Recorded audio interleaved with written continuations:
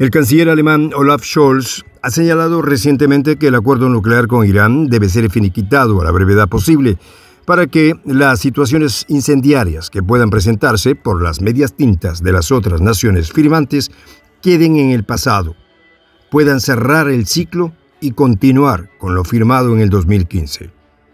Para Scholz, la situación entre Israel e Irán no debe ser de preocupación para los demás países firmantes, y con respecto a ello, el canciller alemán expresó que el primer ministro de Israel, Naftali Bennett, tendrá las estrategias para mantener las buenas relaciones entre Irán y su nación, para así evitar cualquier tipo de conflicto entre los dos países. Pero que el pacto no podía y no debía esperar más.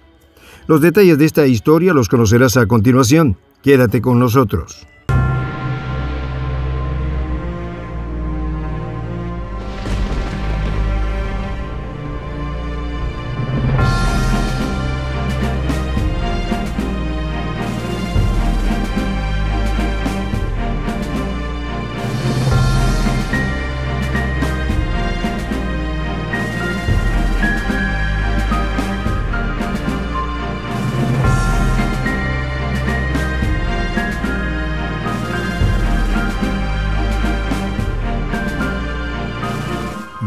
De la Patria Grande.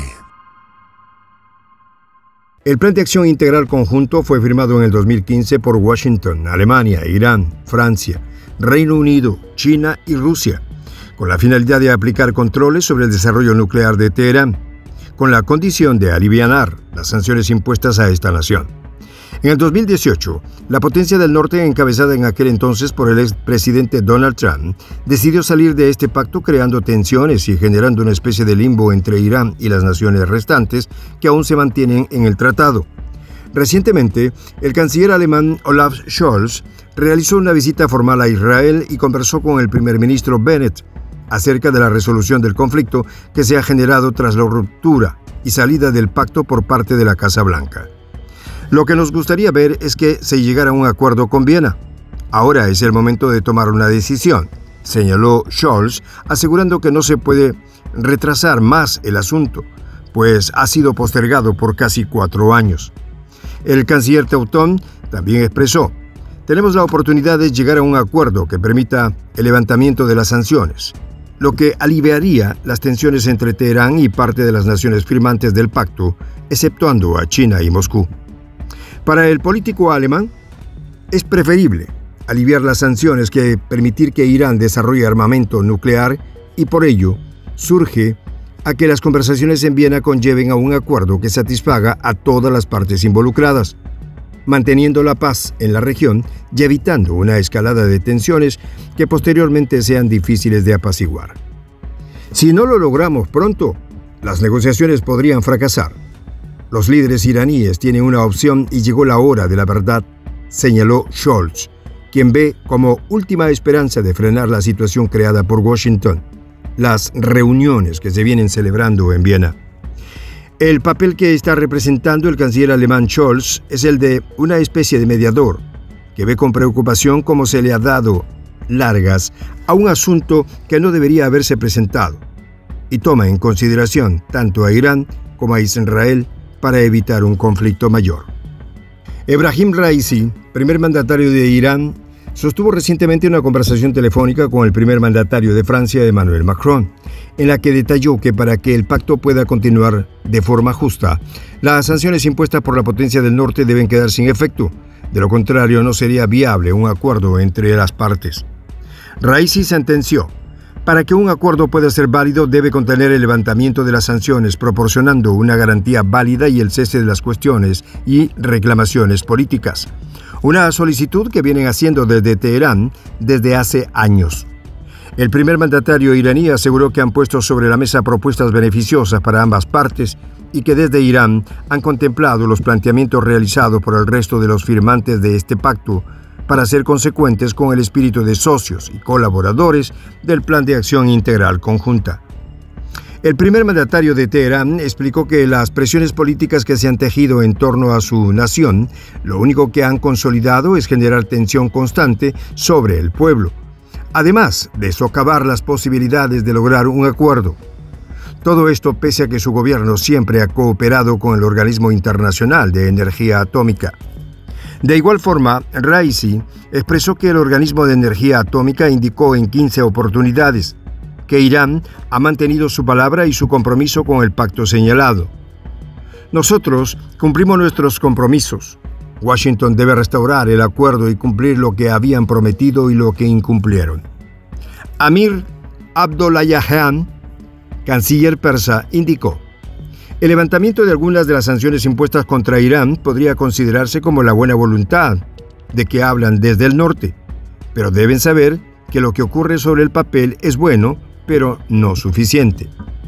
El ministro de Exteriores de Irán también expresó que en su nación esperan una muestra tangible de la buena voluntad por parte de Washington en torno a la resolución de las diferencias que existen actualmente entre ambas naciones y que las garantías que busca obtener Teherán son fundamentalmente claves para el buen término de las conversaciones que se desarrollen en Viena.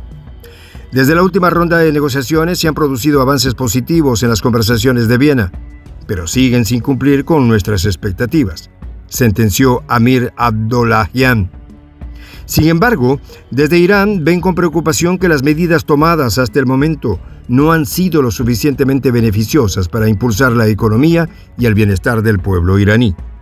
El primer mandatario de la potencia del norte, Joe Biden, recientemente ha distendido las sanciones que su nación había aplicado en contra de Irán, lo que ha sido tomado por parte de Irán como una acción de buena fe inconclusa y que no conlleva del todo la solución de la situación que actualmente se vive desde que el presidente Trump decidió salir del Plan de Acción Integral Conjunto.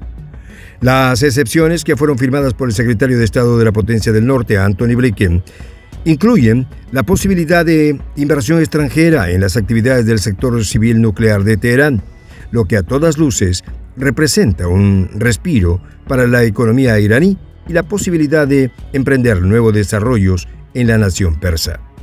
Según lo indicado por la agencia de noticias AP, también el levantamiento parcial de las sanciones incluye el inicio de las actividades nuevamente en la central nuclear de Bushehr, la planta de agua pesada de Arak y el reactor de investigación de Teherán.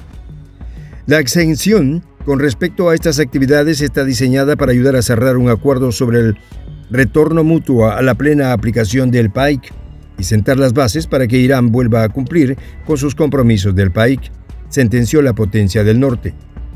Ned Price, portavoz del Departamento de Estado de la Casa Blanca, afirmó que las medidas tomadas no representan un alivio a las sanciones aplicadas a Irán y que no desistirán de las mismas hasta que Teherán vuelva a honrar sus compromisos con el pacto.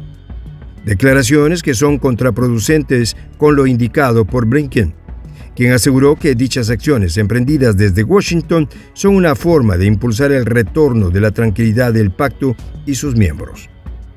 Por su parte, el primer ministro de Israel, Naftali Bennett, aseguró que los avances que pueden estar experimentando con respecto a Irán y el alivio de las sanciones no traerán tranquilidad o estabilidad a la región, y es a todas luces que no disminuye la posibilidad de ejecutar un ataque por parte de Israel a la República Islámica.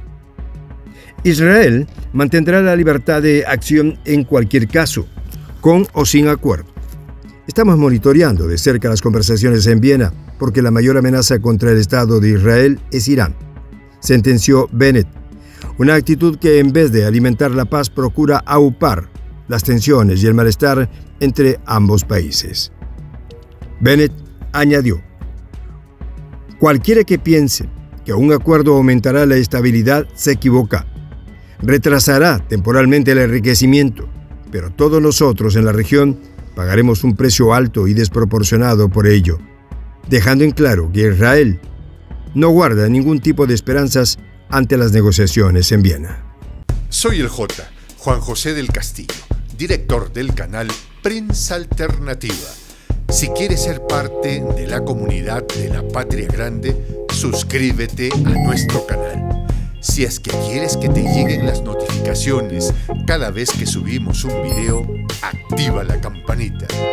Si quieres apoyar a nuestro canal económicamente, puedes hacerlo a través de PayPal. El enlace está en la descripción del video. A nombre del equipo de prensa alternativa, me despido con esta expresión en el quechua milenario, Tupananchis Kama, cuya traducción es hasta volvernos a encontrar.